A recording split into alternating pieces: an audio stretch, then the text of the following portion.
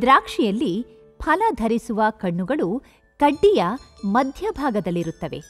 ಕಡ್ಡಿಯ ಬೆಳವಣಿಗೆ ಮುಂದುವರೆದರೆ ಆ ಕಣ್ಣುಗಳು ಒಡೆದು ಚಿಗುರುವುದಿಲ್ಲ. ಹಾಗಾಗಿ ಹೂ ಫಸಲು ಸರಿಯಾಗಿ ಬರುವುದಿಲ್ಲ. ಈ ಫಲಭರಿತ ಕಣ್ಣುಗಳನ್ನು ಉತ್ತೇಜಿಸಲು ಚಾಟನಿ ಅಥವಾ ಪ್ರೂನಿಂಗ್ ತುಂಬ ಮಹತ್ವ. ಉತ್ತರ ಭಾರತದಲ್ಲಿ ಚಳಿಗಾಲ ತೀವ್ರವಾಗಿರುವುದರಿಂದ ಬಳ್ಳಿಯ ಬೆಳವಣಿಗೆ ಸೀಮಿತವಾಗಿರುತ್ತದೆ. ಹೀಗಾಗಿ ವರ್ಷಕ್ಕೊಮ್ಮೆ ಜನವರಿಯಲ್ಲಿ ಚಾಟನಿ ಮಾಡಲಾಗುತ್ತದೆ. ಆದರೆ ದಕ್ಷಿಣ ಭಾರತದಲ್ಲಿ ಬಳ್ಳಿಯ ಬೆಳವಣಿಗೆ ಹೆಚ್ಚು ಹಾಗೂ ನಿರಂತರ.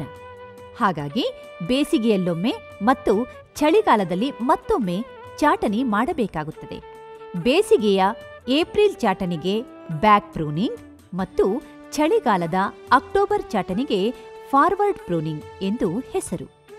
ಏಪ್ರಿಲ್ ಚಾಟನೆಯಿಂದ ಬಳ್ಳಿಗಳು ಸುಪ್ತಾವಸ್ಥೆಗೆ ತೆರಳಿ ಫಲಭರಿತ ಕಣ್ಣುಗಳು ತಯಾರಾಗುತ್ತವೆ.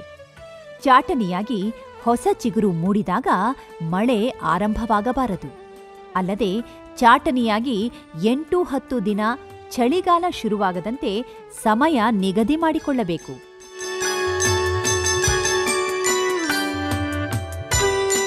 ಬೇಸಿಗೆ ಚಾಟನಿಯನ್ನು ಮಹಾರಾಷ್ಟ್ರ ಆಂಧ್ರಪ್ರದೇಶ ಮತ್ತು ಕರ್ನಾಟಕದಲ್ಲಿ ಮಾರ್ಚ್, ಏಪ್ರಿಲ್ನಲ್ಲಿ ಕೈಗೊಳ್ಳಲಾಗುತ್ತದೆ. ತಮಿಳುನಾಡಿನಲ್ಲಿ ಜೂನ್ನಲ್ಲಿ ನಡೆಯುತ್ತದೆ.